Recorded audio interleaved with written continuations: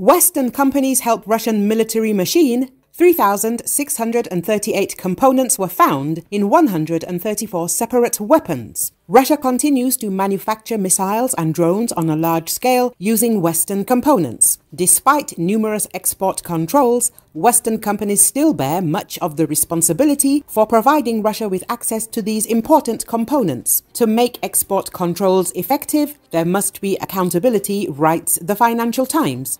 It is noted that more than 50 countries have imposed sanctions against Russia.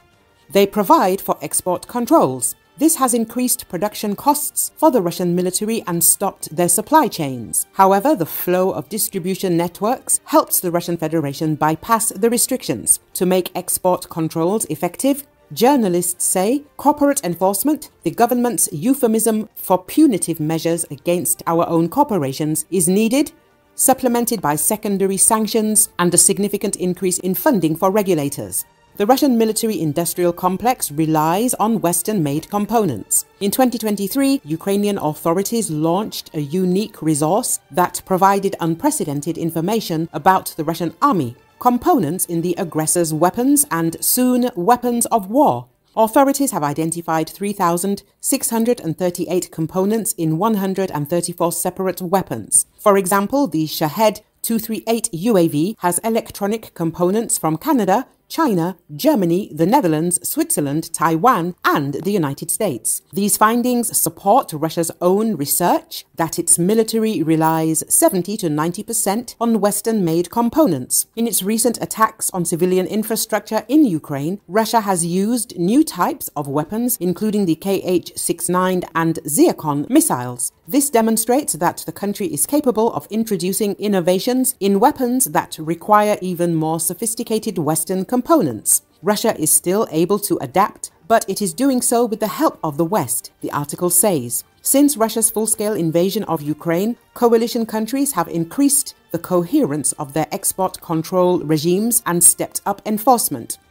Recent US efforts to involve financial institutions in disrupting distribution networks are already having an effect, the reporters say.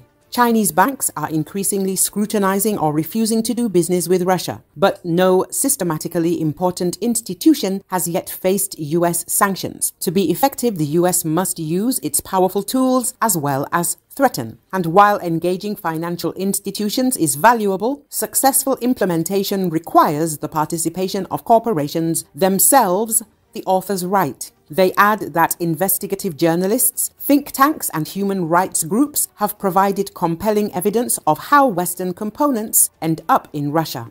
The problem is clear to everyone except the corporations themselves. In response, most companies hide behind boilerplate legal language. According to the journalists, American companies have an obligation not to violate export control regimes. This includes denying Russia access to certain products and restricting almost all exports to Russia for military use. Companies must do more to strengthen their distribution networks, due diligence to comply with export controls. Failing that, only multi-billion dollar fines for export control evasion, similar to those banks face for money laundering and terrorist financing, could change corporate risk-reward calculations, the authorities conclude.